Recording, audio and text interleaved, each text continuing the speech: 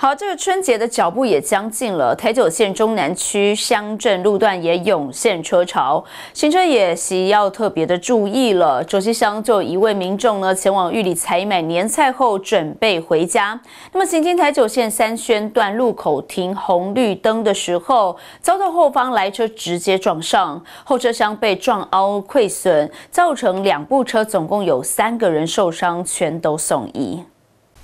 台九线三宣这三岔路口，两部车就这样一前一后撞在一起，卡住动弹不得。两车共三人分别受到擦挫伤，被前来救护的消防人员全部送医救治。接获通知，赶到现场的家人看见女友与母亲受伤送医，强忍忧心的表示，女友与母亲一早前往玉里镇采买年菜，准备过年团聚，不料返家途中却遭人追撞，直觉得倒霉。买那个年货啊，买有做生意了，煮面。哦哦，好好好好。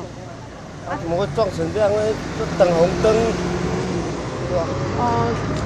大白天，两部车行驶在路宽的道路上，怎么会发生追撞意外？警方表示，高姓女驾驶载着六十四岁的母亲行经台九线三宣路口停等红绿灯时，遭五十三岁的黄姓女驾驶从后方追撞，造成两车车头与车尾毁损，两车共三人也都有轻微的擦挫伤，送医治疗后已无大碍。而玉里分局也再一次呼吁用路人行车保持安全距离，注意交通号志。并随时保持防御驾驶的习惯，保护自己也保护他人行的安全。